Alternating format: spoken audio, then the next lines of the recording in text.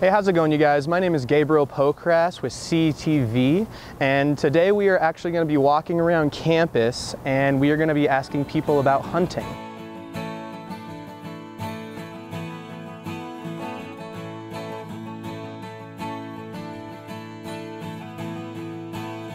No, I'm not against people who do hunt. I think it's a choice, but I guess I don't really have strong opinions either way.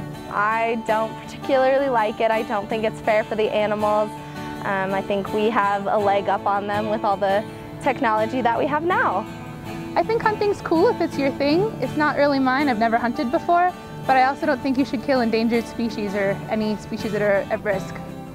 I think it is a good thing.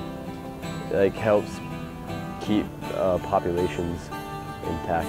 I enjoy hunting because it can bring you outdoors. It can um, really just get you used to being in nature. It's just a lot of fun.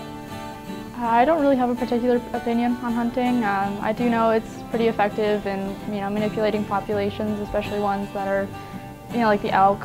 Uh, I love hunting.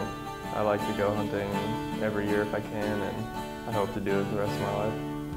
And there you have it. This has been some of your fellow CSU students' opinions about hunting. I'm Gabriel Pokras with CTV. Back to you guys.